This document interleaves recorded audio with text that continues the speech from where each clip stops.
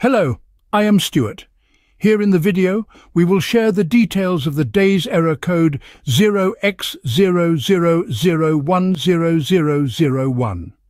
The error reads, connecting failed, could not connect to the server because it is unreachable.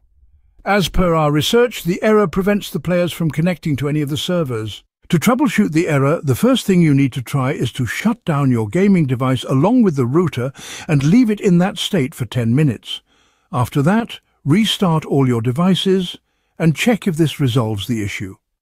If the error persists, then open the launcher. Then select your server and select Load. Once the character screen comes up, select Change Server. You can use the search function to find your server and then hit play.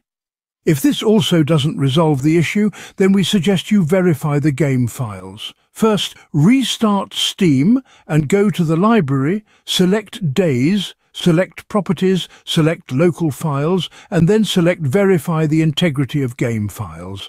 Once file verification is done, check if now you can play the game. If you still receive the error, then go to the Game folder and navigate to the BattlEye folder. Then try uninstalling the uninstall underscore file. Then reboot your device. After that, go back and run the install underscore file. Try this and see if this resolves the issue. As a next workaround, you can try creating another character.